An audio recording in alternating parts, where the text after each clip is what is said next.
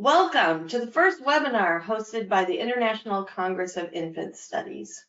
I'm Lisa Oakes, the current president of ICIS, and I'm pleased to be moderating this webinar on online data collection, stories of success and challenges in transitioning from lab-based to online research. Transitioning to online testing is not a quick fix for how to collect data for the six weeks that your lab is shut down, but the current world context provides an opportunity for researchers to try new tools and to move at least some data collection online. Online data collection is exciting and may help us recruit children who we could not ordinarily recruit. It also may help us to keep our research going during times when we need to maintain physical distance. But as you'll learn today, it has its own challenges and may be suited to some questions better than others. Uh, just some housekeeping. We have made a handout of some resources for online testing. You can find it on the handout pane um, in the control panel. Uh, it will also be available uh, online after the webinar later today. And today we have four researchers with us who have been collecting data online, and they'll share with you their experience and answer some questions. We have with us today Caspar Addyman of Goldsmiths University London, Molly Dillon of NYU, Mark Sheskin of Minerva Schools at KGI and Yale, and Marjorie Rhodes of NYU. Welcome. The format today is the following. Each of these four will give a brief introduction to their experience with online data collection, and then we will have time for them to answer your questions. If you put your questions in the question window, I'll monitor it and help direct the questions to our panelists. So Without any further ado, Caspar, let's start with you. Tell us a little bit about your experience with online data collection. Yeah, hi uh, everyone, and thanks Lisa um, for uh, this opportunity. Um, so my uh, my journey began September 2018, so over a over a year and a bit ago, when um, Kim Scott asked me if I'd be willing to be an alpha tester for um, MIT's Lookit platform that she's been developing for a couple of years already at that stage. Um, my research is about laughter, and they just wanted a very short, simple, um, and fun experiment that parents could do um, as as a test for the platform. Um, so that initial brief was um, not to take your your sort of Rolls-Royce study um, but to take something that um, would be nice for parents to do in the home, um, that would be quick and simple. Um, and I happen to have had a, um, a, a, study that we'd done as a survey. Um, so we'd done that on Qualtrics with a, a three or 400 participants. and I'll, I'll, take you through that in a second. and so we just sort of converted that onto the, the Lookit platform. So once we've done that, then the parents come uh, to do the study through Lookit. Um, they register for the site. They can pick amongst the, the experiments which are there. Um, and so recruitment happened through um, through that platform. Parents were already coming to it, and anyone that I wanted to take part, I could direct to it. So let me just start uh, sharing my screen so I can show you a few things. Um, hopefully you can see what's what you want, so what I want you to see. Um, so um, this is going to go very fast. This is um, just a, a, step through of all the things that had happened as a parent um, takes part in this experiment. And don't try and take it all in. Uh, I'm just showing it just to orient you, orient you um, to what comes later. Um, so they register, give some demographic information, uh, information about their child, um, and then select one of these studies. Um, so this is actually a preferential looking study. Um, there's a quick questionnaire, some information about how to set up your uh, uh, your study. There was a consent form there that you, you went through very fast, and then a preferential uh, looking paradigm with a range of things, and then maybe a little questionnaire at the end. So complete whistle stop tour. I don't don't expect you to take that all in, but that's the platform that we're using. Um, my own study um, was basically just putting a, a questionnaire online. But this really, um, the questionnaire, we never really knew what was going on. We we got parents to take part in three different um, uh, sort of jokes with their children. Um, and in the original questionnaire, we just asked them to rate each one, um, as to do each one three times, rate it for how funny it was, um, whether the child laughed or not. Um, so we replicated that questionnaire part of the study, um, but um, the great thing about being online, we were also able to capture video for each of the the 15 trials. Um, over the time that we were running the study, um, which started in April last year, and we just sort of up until now, so I guess we've had a year. Uh, we had 132 uh, participants, um, a very wide range of ranges, uh, range of ages, which is what we wanted. Um, and we don't even need to talk about the results. Um, but let me just show you what those videos look like. Uh, that, you know, the ironclad law of uh, presenting when babies, you do have to show cute babies. Uh,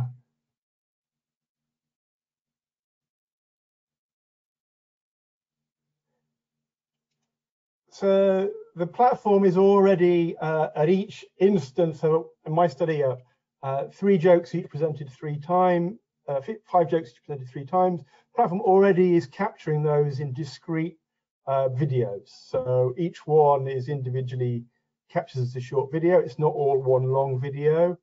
Um, and it's, um, you can see, it's not the highest quality video, um, but it's it's sufficient for you to be able to um, see what's going on. Um, and it's got sound there too. Um, the parents don't always set it up right uh, or sort of in the ideal way. So um,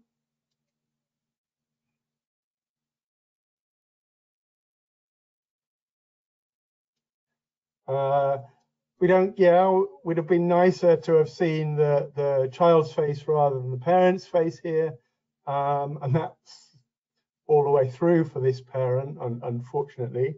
Um, but we could still hear um, and so if we're doing something about the timing, we pick that up. Um, but it isn't even always as quite as good as that.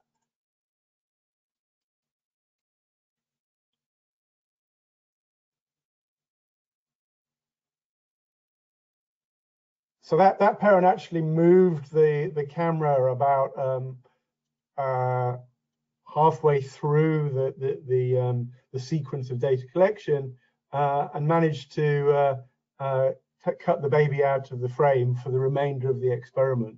Um, and uh, it's also worth sort of noticing here, we've got, um, let's play that again. Uh, there's also uh, uh, an, a further adult in the background there who obviously didn't didn't consent to be part of the experiment. Um, so um, yeah, I would say I, I am really John the Baptist here and uh, Kim is really Jesus when it comes to the online platform. There's a lot of uh, development work that's been going on with um, Lookit for, for several years. And as an alpha and beta tester, sort of I've benefited from a lot of the work that they've done. Um, the, the setting it up from our end, I guess, two things that we had to consider.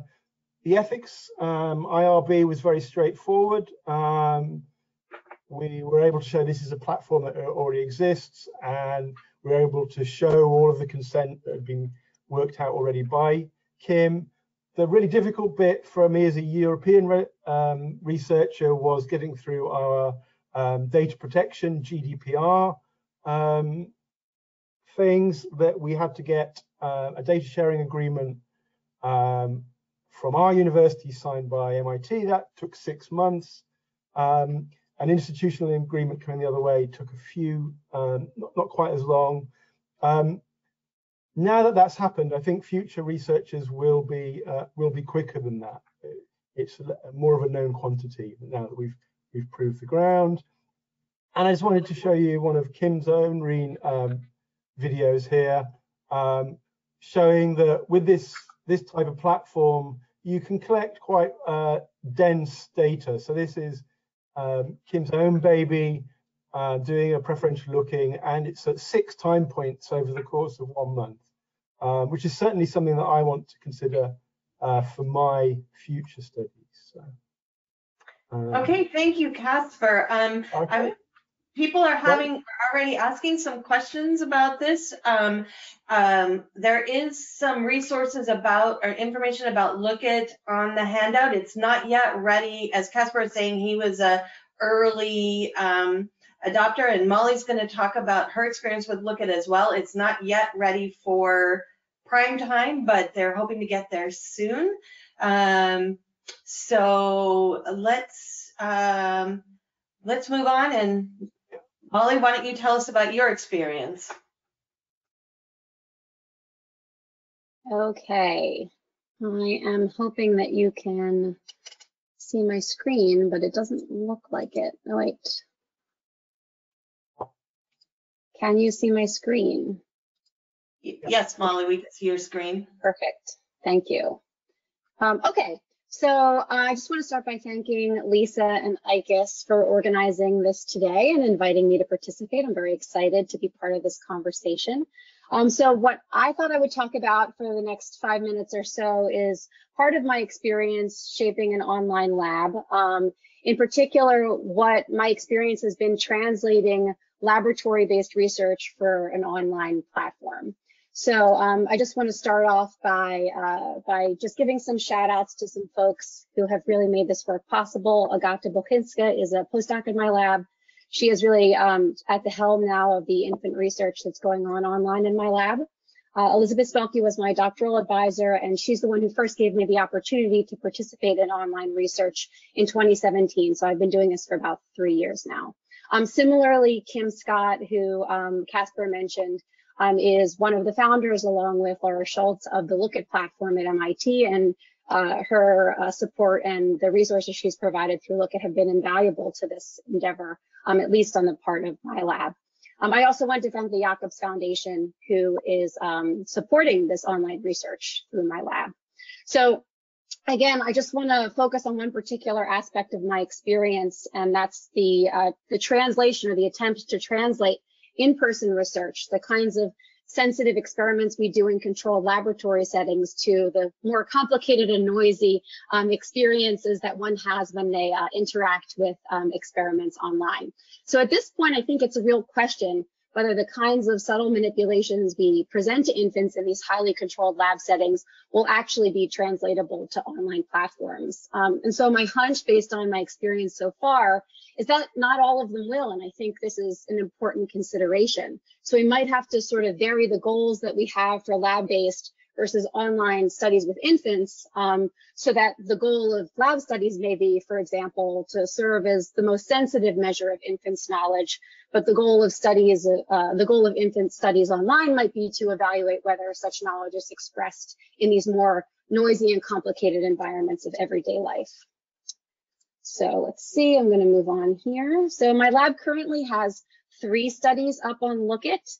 Um, and I'll focus today on the study for the youngest babies um, because I think that's maybe what this audience is interested in hearing about, but it's also the one that we've attempted to translate directly from the laboratory to an online setting. So this study is called Baby Euclid. It's um, it's modeled after a study that was recently accepted and is in present infancy. So we're on theme here in terms of uh, in terms of the conference organizers. Um, so this was a study looking at infant sensitivity to different shape properties in, in basic visual forms. So I'll give you a little bit more description of this uh, just in a second.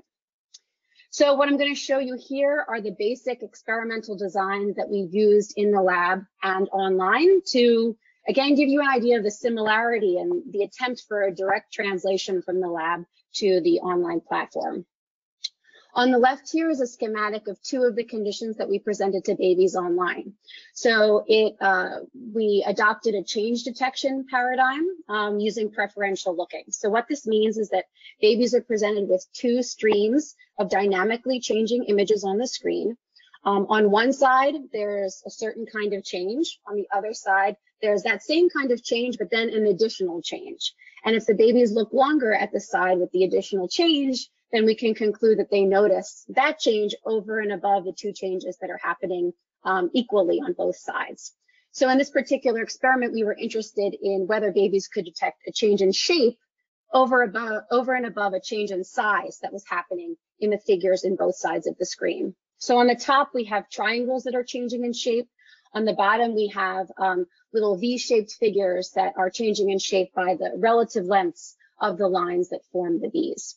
So again, on both sides of the screen, these shapes are changing in size, but only on one is there an additional change in shape. So if babies detect these shape changes, they should look longer at the size where there is both sides, excuse me, where there is both size and shape changes. So this is the schematic um, of the lab-based study. These stimuli were presented in a dark room on a four foot by three foot screen. So a very large screen, nothing else was in the room. On Lookit, we were able to reduce, uh, reproduce the shape properties of the stimuli very well, um, but you can see that there are some changes. Uh, perhaps the first one you might notice is that the background is light versus dark. So these were being presented on uh, participants' home computers, and we had no control over the ambient lighting. So we wanted to make sure at least the baby's face was uh, was bright and they could see uh, shapes on the screen. Um, you might also notice that the babies are positioned differently. So in the lab, we have babies sitting on parents' laps. Um, parents usually keep their eyes closed. Um, and in on Lookit, we have babies being held over the shoulder of the parents. This way, parents can keep their eyes open but not see the stimuli, but they can be generally aware of their surroundings. So I'm happy to talk more about that difference um, at some point during the question and answer if folks are interested. So you can see that the, the structure of the experiment is quite similar, although there are some differences. And I'll just show you here quickly sort of a dynamic version of each of the stimuli, each of the sets of stimuli, um, to give you an idea of, uh, of what the babies actually saw in the time course during which they saw these shape changes. Again, this was a subtle manipulation in the lab, right? It may even be hard for you to follow after just a second or two, which side is more interesting because there's an additional shape.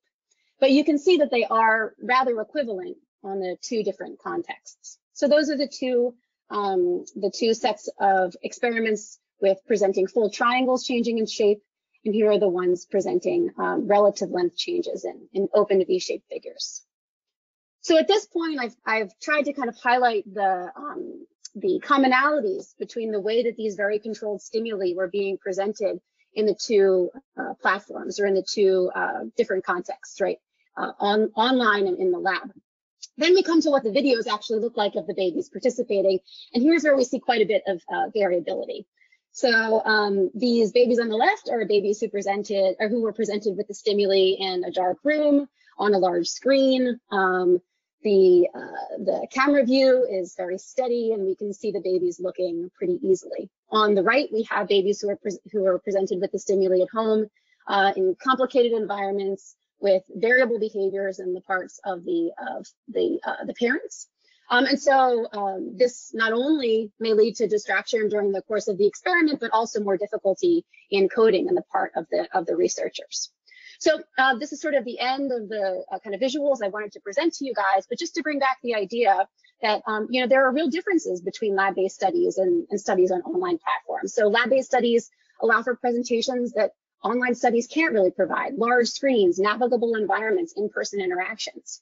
Lab-based studies may also provide a really sensitive setting for discovering cognitive and neural underpinnings of children's knowledge and learning. But lab studies don't reveal whether these abilities are detectable or harnessed in noisy environments like the ones of everyday life. So Lookit at other platforms could allow researchers to study this behavior, perception, and learning in these noisy environments, um, even if the stimuli are highly controlled, like the ones I presented here. And so moving forward, I think it makes sense to keep these differences between the lab and, and online in mind and perhaps harness them as a strength for both the lab and online studies. So the goal of lab studies might be to serve as a sensitive measure of infants' knowledge, but the goal of online studies might be to evaluate whether such knowledge is expressed in everyday life. So that's what I've got. Thank you, Molly. Um, so uh, this was great, and it was nice to because uh, one of the questions people have is about the comparison of the what what experiments look like online versus in the lab, and um, I think you gave us a nice sense of that. Another question that is coming up has to do with the fact that Molly and Caspar Molly's in the US, Caspar's in the UK, and about the differences between um, uh, platforms that are hosted in the different places. I do, again, I'm going to point you to our handout again because there are a couple of resources that are being developed or are available that are um, in uh, European based. And so um, there's a, a, Many Babies at Home initiative that is being developed now. And um, I believe everybody in the leadership is somewhere in Western Europe. Um, and so that would, for European researchers, that might be a place to go if you're worried about a, um, a US hosted platform. Um, so now we're going to turn to some very different directions. Some people we invited who are not infancy researchers, but have had some experience um, with other kinds of platforms that might be interesting, especially for people who are um, focusing on slightly older children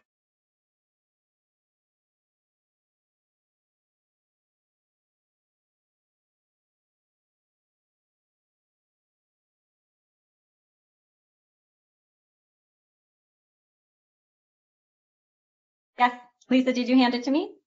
Okay, fabulous. Thank you. Um, so my lab started doing remote research with children about a year and a half ago. Uh, the system that we developed is similar to Lookit in that it is unmoderated, which means we program the studies, we post them online, and families can participate anytime. So we're not setting up appointments with them, and they're not interacting uh, directly with the members of our lab via Zoom or Skype or something like that. So we call that approach unmoderated. Um, I study conceptual development and social cognition, mostly in a little bit older children who are verbal, so usually ages three and up. And so we've been focusing on developing methods for presenting stimuli to children with animations and narrations, and then recording responses that children speak out loud or that they communicate to us by clicking a button on the computer, by pointing and having their parent click for them, or through some other behavior that we can record on their webcam. So our motivation for wanting to do re remote research was really that we thought it would allow us to address new research questions and move in new scientific directions that we really wouldn't be able to do otherwise. And we saw this potential in remote research because we um, were excited about the possibility of including more diverse participants growing up in more diverse environments for allowing us to address new theoretical questions about the processes that underlie the development of social cognition um, across contexts and also because we saw potential in remote research for facilitating longitudinal studies and studies of parent-child interactions um, in new ways. So I've picked three brief study illustrations that I want to share with you, which highlight some of the different research goals that we've been tackling with this approach. So I am going to um, do the screen share, except I accidentally clicked it away. Um, Michelle, I might need you to resend to me the screen share where I can accept the screen share. Ah, no, yes. You are sharing your it, screen. It's not sharing or it is sharing? It is sharing. It is sharing?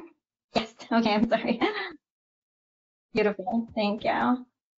Wonderful, thank you so much. Okay, so the goal of the first project was to conceptually replicate one of our in-lab studies remotely to see if it was feasible to replace some of the interpersonal interaction that children typically have with the researcher in one of our studies with animations and narrations. Uh, we wanted to see if we could collect valid data from children in an efficient manner using the system, and then we wanted to compare the data that we collected remotely to that that we had previously collected in person. So the original study had involved about 50 children participating in person in New York City preschools and museums. And the conceptual replication involves the families that you see pictured there. So we had about 200 children from across the United States and the United Kingdom. In the original study, a researcher read the children a story, asked them questions out loud, and then had them point at responses. So we tried to replicate that experience for children as closely as possible. So here's what a task question looks like, just as it was presented to children. This is a Zarpie. She draws stars on her knees. This is not a Zarpie. she doesn't draw stars on her knees. Imagine that you had an extra cookie that you wanted to share. Who are you going to share your cookie with? The one who is a Zarpie or the one who is not a Zarpie? Okay, so hopefully you could hear the audio for that. I'm going to ask Lisa that you pipe in and let me know if they couldn't. Um, for questions like that, children could respond either by saying their answer out loud, saying Zarpie or not a Zarpie, or by pointing um, and having their parent click for them, or by clicking themselves. So for this study, we wanted to minimize the role of parents in shaping children's responses because parents were not involved in the original study that we had done in person, and we really want to know what children think and respond, how they respond to our manipulations on their own. So to do this, we gave parents instructions at the start of the study, and then we coded each video trial by trial for instances of problematic interference. Uh, we found very little interference, and I'm glad to talk more about how we coded those instances and how we handled them in analyses during the Q&A. Uh, long story short, with this project, we conceptually replicated our original findings, and by having a larger and more diverse sample, we were able to extend them in a variety of ways as well. In the next study, which is still ongoing, our goal was to test the potential of remote research for facilitating longitudinal studies and to begin to examine new questions about the role of context in children's development that become possible by studying children from more diverse environments. So these are participants as of a few months ago in a longitudinal study on the development of racial bias with children from across the United States. We now have about 400 children in our first wave of data collection, and about 200 have so far completed wave two, for which data collection is still ongoing, and we have several more waves planned. The waves are about six months apart. The goal of this is to identify predictors of variation in the development of race bias across time by looking at a range of psychological processes in children over time, and also by collecting measures from parents and other data about children's environments that we extract from publicly available databases um, and link to children via their zip codes. So I'll show you what a simple item looks like that's part of how we assess racial bias online in this study. Here is a kid. How nice do you think this kid is? Really not nice? not nice, a little not nice, a little nice, nice, or really nice. So in that study as well, children could respond by pointing um, or by clicking uh, and we also coded parent-child interaction throughout this study. In coding the parent-child interaction, we were once again trying to identify interference trials, but we're also coding for a variety of other types of parent-child interaction that could be interesting and inform future research, uh, such as things like social referencing and other forms of nonverbal communication, so we can explore new questions about the mechanisms by which parent beliefs um, about race might be communicated to their children. The last study that I want to illustrate for you is about parent-child interaction in particular. So this is a study about subtle features of the language that parents and children use to talk about gender.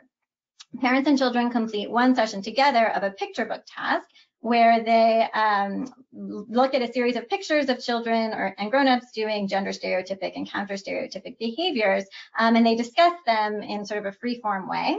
And in this way, we can uh, code the language that parents and children use to talk about gender. And then later, we separately assess parents and children's uh, beliefs and attitudes about gender. So here's what the uh, picture book task looks like. Who plays superheroes? Boys. Yeah sometimes girls. You like to play superheroes and you're a girl.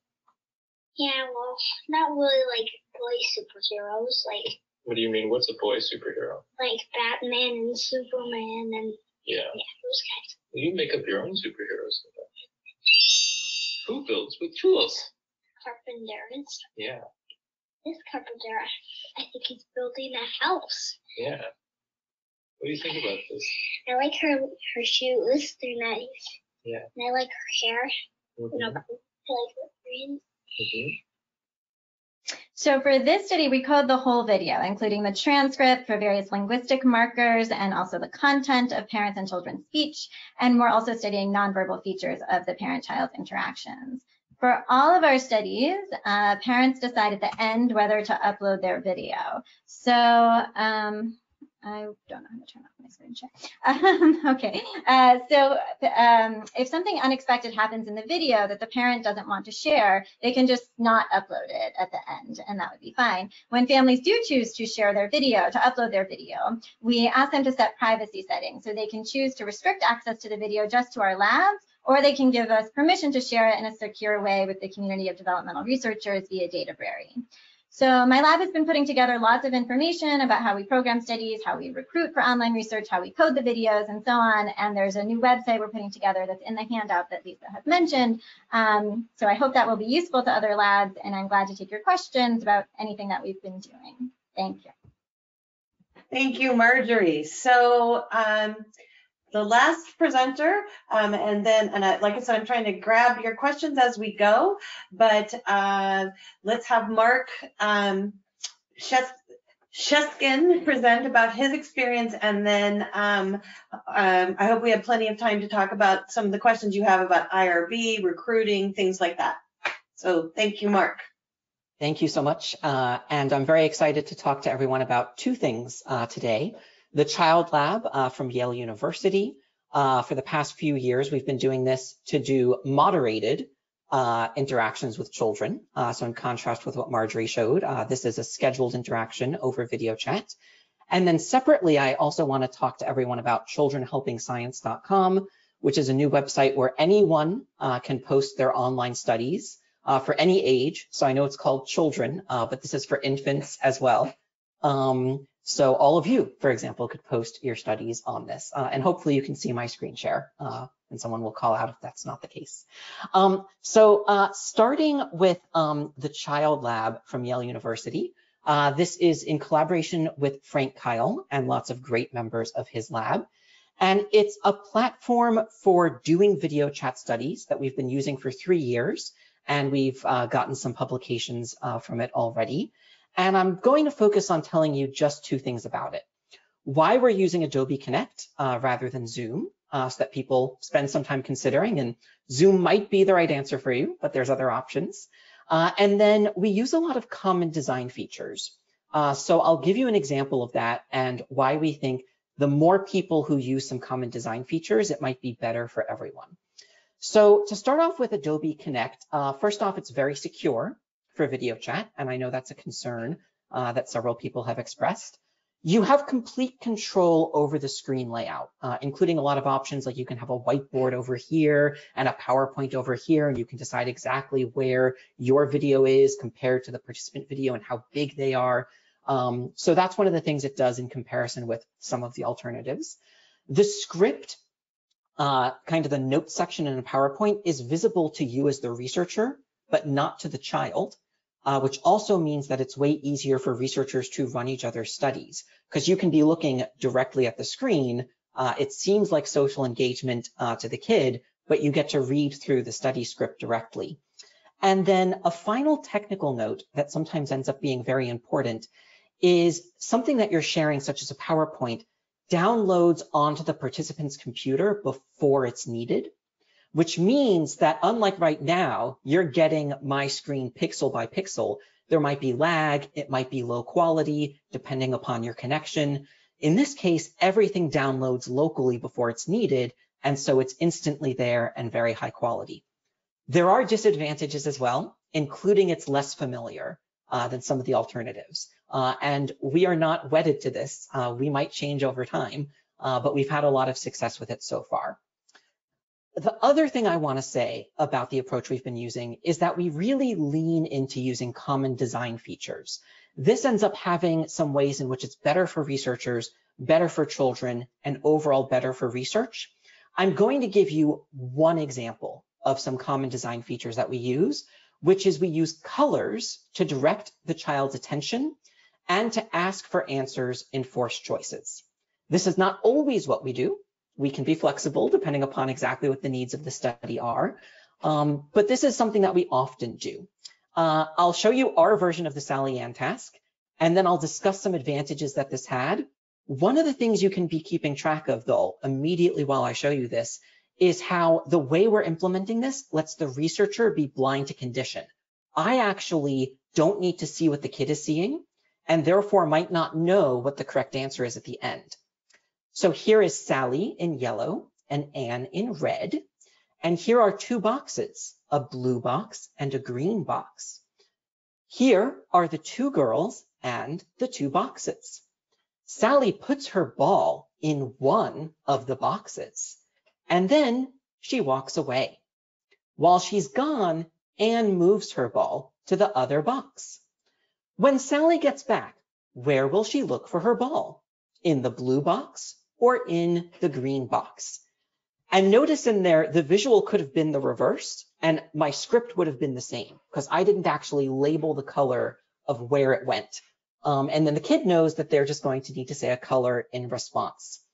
So advantage number one uh, of having a lot of common design features uh, and also being able to see the script uh, as the researcher is that everyone can easily run each other's studies with a low amount of training, but a high amount of consistency.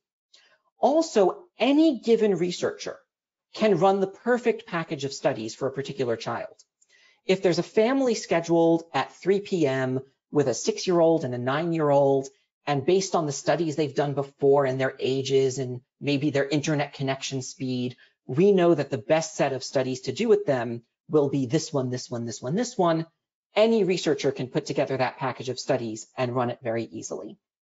It's also easy to replicate studies uh, because all of the materials are already just there being shared amongst the research team. Anyone else could take them and run the exact same study over video chat. And then finally, it's way less cognitive load for the child.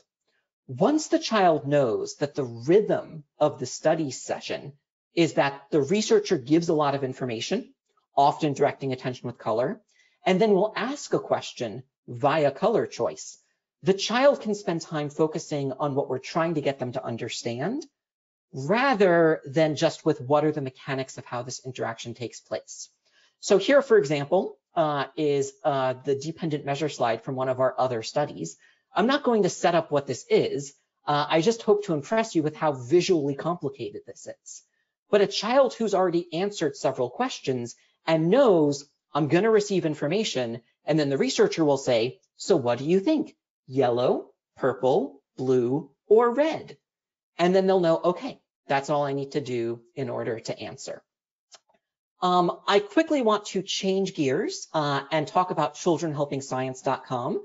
Uh, this is with the list of collaborators you see on the screen now. Um, but we're just behind the scenes making the website exist.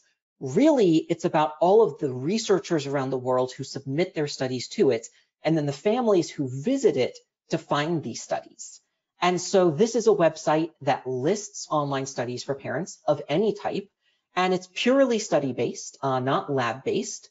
And I'll tell you two things about it. Uh, number one, it gets better the more people who use it, right? Parents are excited to go there because there's so many studies there. Researchers are excited to post studies because there's so many parents there. And hopefully it's just this win-win loop.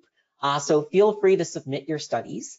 When you do, uh, it looks like this. Uh, for example, here's the page for studies for kindergarten up, and the parents see a nice grid with key information about each study. When they click on a study, there's two ways that the study page can look.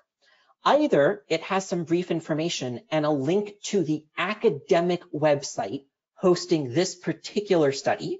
Uh, so that means not a Google form or not just like a general web page about your lab, uh, but here's this specific online study uh, that you can do.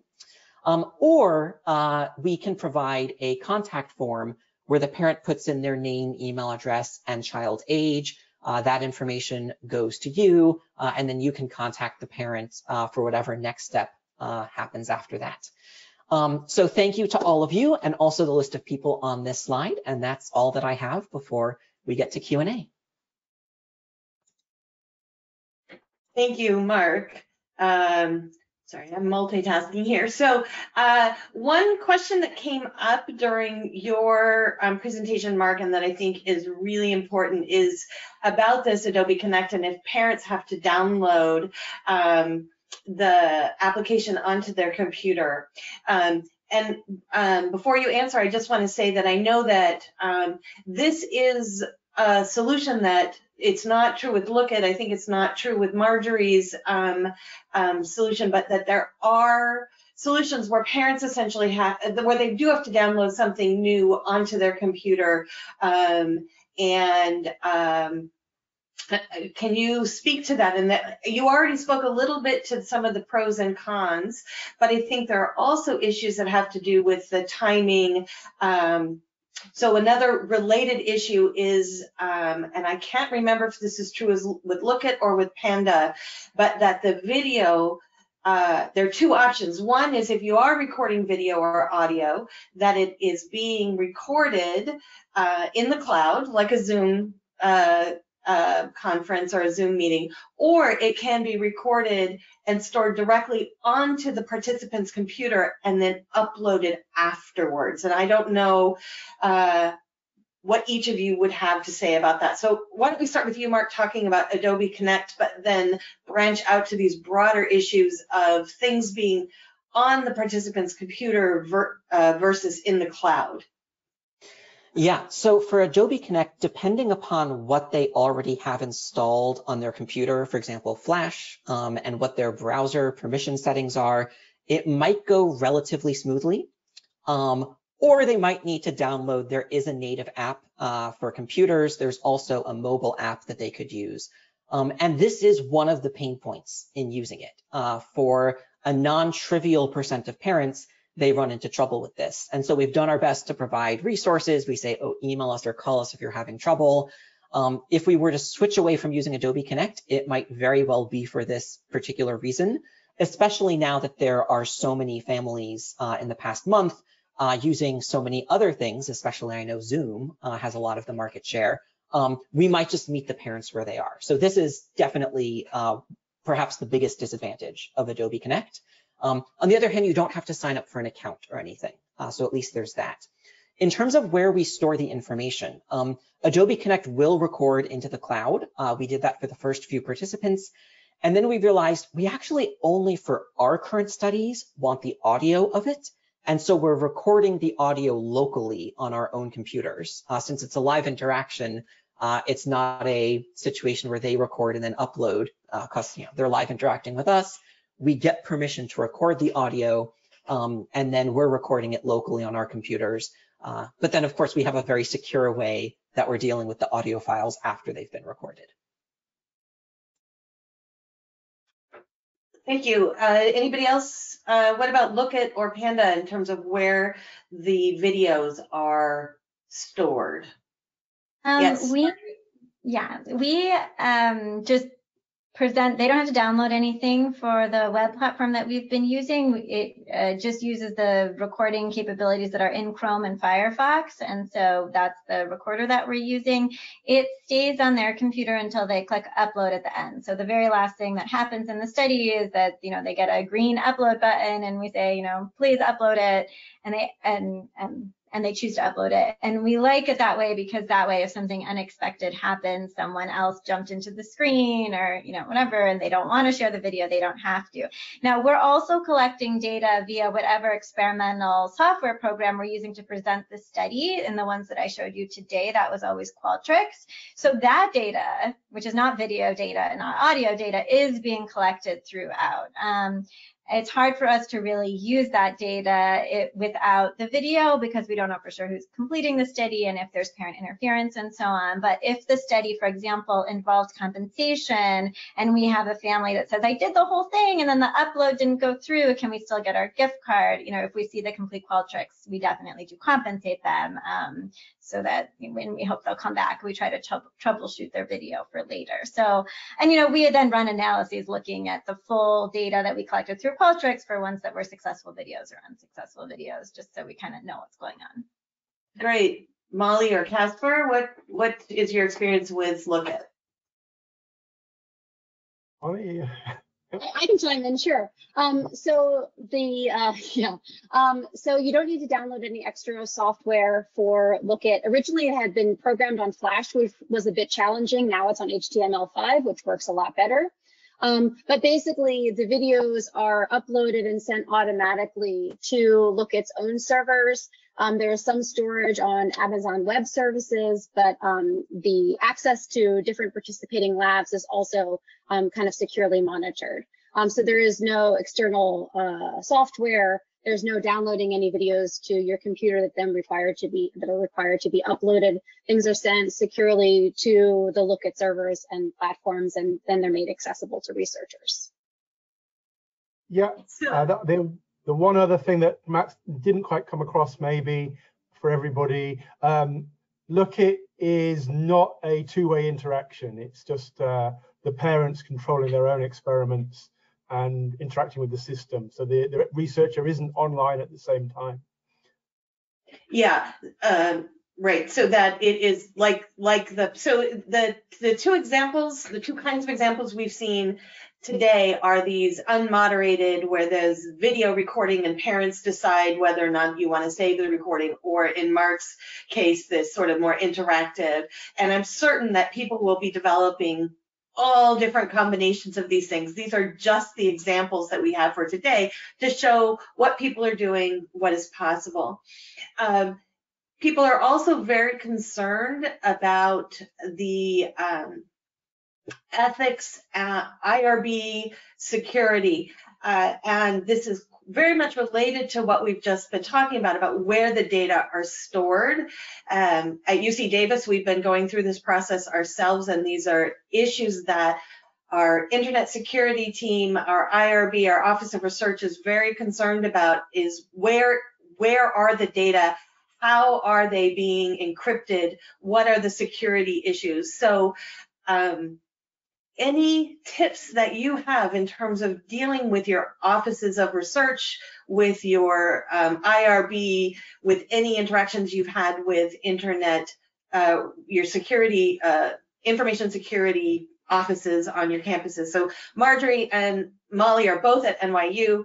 Caspar is in the UK. So we're gonna, we sort of have three use cases here. Um, so I don't know who would like to, maybe Caspar, you can go first because there are many people on the chat who are, um, have some specific, specific concerns about being not in the US. Yeah, so, so the data I've collected has been uh, um, about 60% US participants, 60% um, EU participants.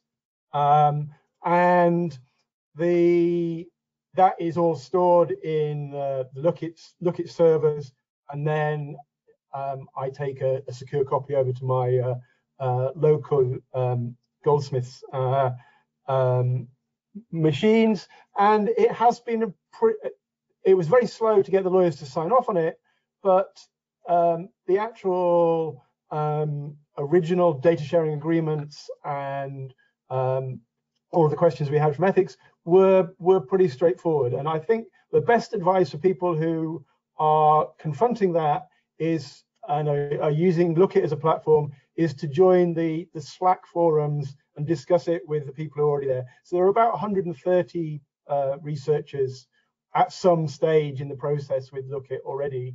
And so someone will have already gone through um, what you're about to go through um, with a very similar sort of situation um, and it's about, I think um, that aren't, we were one of the first um, in, in Europe, but that will answer it for other people in Europe is if they come to me and say, right, what was your data sharing agreement? What does it look like?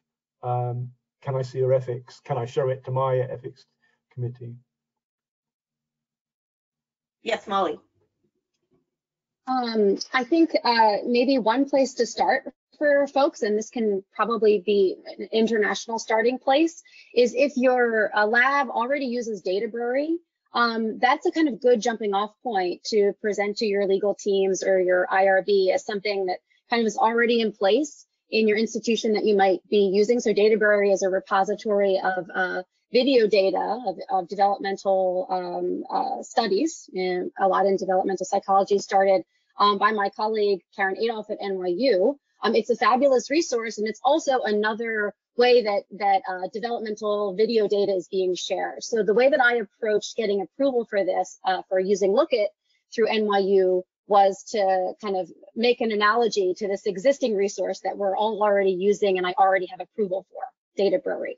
And so that might be a good idea for some folks to kind of breach this topic with their, uh, you know, to get a user agreement from a legal team or to get an IRB approval to, to show the similarities between collecting video data online in an active way and then using repositories um, like Databrary. Maybe I'll also mention one more thing, which is that one thing that the IRB cares about is that uh, parents kind of have opportunities to say no or to back out, right? So there are, I think um, Marjorie mentioned in Panda and certainly the case in Lookit that you can decide after the fact um, that uh, you know you don't want to be really contributing your video data anymore, right? So you have the opportunity to opt in. Um, you take your consent recording. At that point, it's pretty clear you're going to be video recorded. At the end, you give your permission whether or not you're going to, you know, you're going to decide to move forward with submitting those videos um, for to the research team. So there are a couple of different steps where the parents have a chance to to um, to say no to their participation in, in terms of um, contributing the video data. Great, Molly. Mark, do you have a, a different experience or something different to add? Um, sure. In, in, our case, we had maybe the easiest sell to our ethics committee because it's a live interaction with a researcher. They're used to that sort of process. Um, and so we really leaned into this is not a big deal. You know, this is the sort of thing you approve, just a little bit different. And they they thought that that was right. Um, it is a tiny bit different in that we're not getting a physical form signed by the parent. Instead, it's a verbal uh, consent that is then recorded uh, on an audio file. Uh, but we have available uh, in the handout uh, that's linked uh, here um, our introduction, consent, assent, warm up slide sequence that we begin every session with um, that shows how we give the information about what the session is and answer questions and then get the verbal consent uh, from the parent and the assent from the child. Um, but we got it approved on our first try uh, with the Yale IRB. Um, I think because it is just this sort of straightforward thing of a, an interaction with a researcher that they're used to approving. Great. So um, our time is going very fast. I think we have time to sort of deal with one more issue. Um, uh, for those of you posting questions, I am going to figure out a way that we can answer your questions offline as well. So keep posting them and, and look for our answers. Um, but another thing that has come up over and over in these questions is about recruiting and about um, the diversity of the sample and about um, people who do or do not have certain resources. I know, Marjorie, that was part of your explicit goal before the pandemic to uh, why you went online. So maybe you can start talking about that um, and we can uh, see what others have to say. Yeah. Um, so we, those are great questions. We launched our site about 15 months ago, and we have um, had about 1,200 families that have participated over that time. And they're spread. I mean, you saw how they're spread out geographically um, in the in the figures that I shared with you. Uh, we do collect a lot, um, so there's a lot of geographic diversity, um, which is important to us because families are the children vary in terms of the level of racial, ethnic, linguistic, and economic diversity in their neighborhoods, and that's something we've done a lot of work to quantify for our participants. Um, so I think that's really interesting. The sample, um, so mostly we've recruited via social media, both by making Facebook and Instagram accounts and posting on them and also by doing paid ads on Facebook and Instagram. And we're starting Google ads. We also did some advertising on parenting podcasts and we also just did some social networking. So emailing things out to various contacts that we had or that our community partners had different schools, YMCAs, religious groups all across the country. And, and they would just sort of blast, you know, their lists with here's something fun you can do from home. Um, so that's been pretty effective. The social media advertising is the easiest thing to do consistently and it's pretty effective.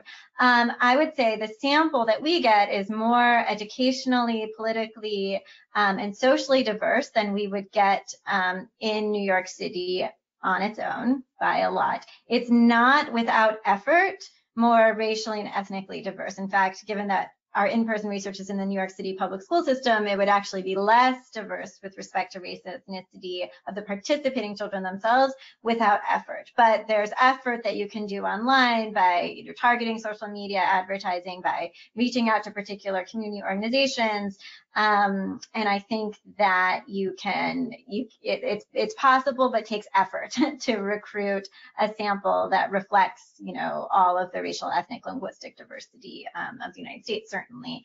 Um, I do, I will quickly mention two other things, which is we've also done some recruiting. Um, if that's not the que- uh, generally about recruiting, but not about diversity. If you want to recruit quickly, uh, we also have had some success posting studies on Prolific, which is a research platform that's you know designed for use with adults, but can work with you to post a study for parents that they then bring their children into. That we have found very um, efficient, and those sample of families we had from the UK were all recruited from Prolific.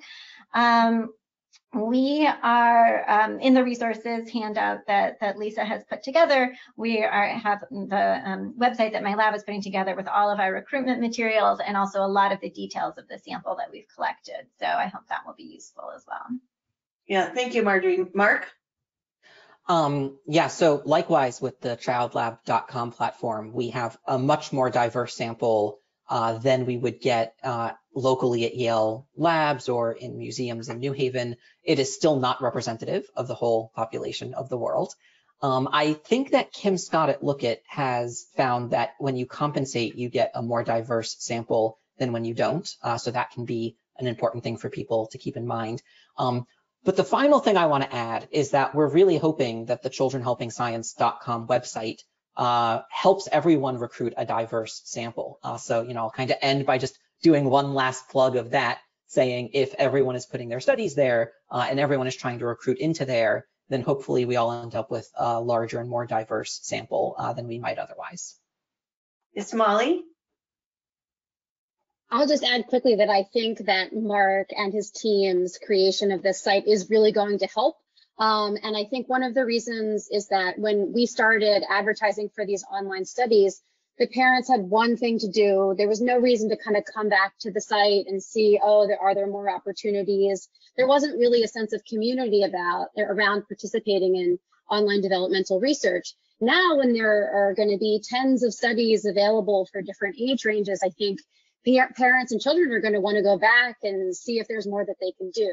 Um, and I think that's going to be a really important um, step in, again, kind of creating norms and community around this kind of stuff, which will ultimately benefit everybody. I'll say one more thing about this um, through my own experience.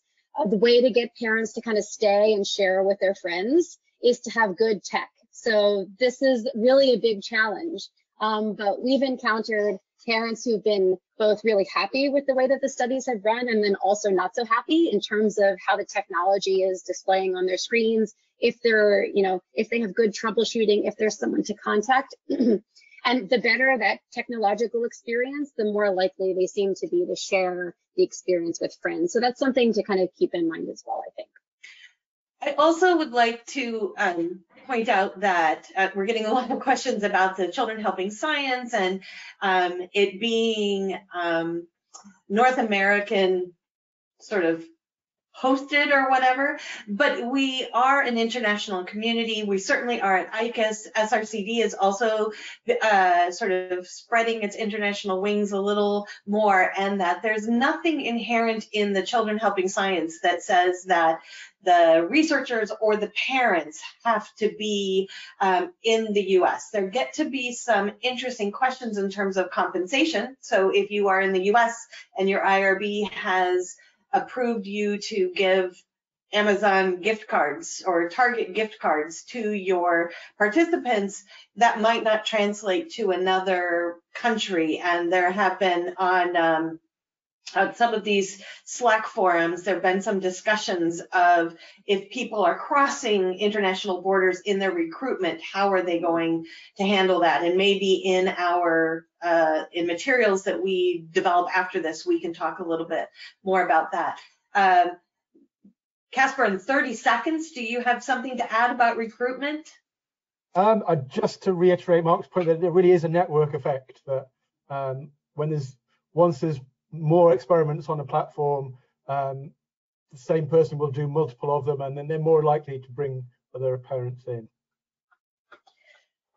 Well, on that note, our time is really coming to a close. Um, I hope you all have found this to be as informative as I have. I thank uh, uh, Caspar and Molly and Marjorie and Mark for all their really useful information and sharing their uh, experience. Like I said, we will be putting together, uh, trying to put together some answers to some of the questions that we did not get to.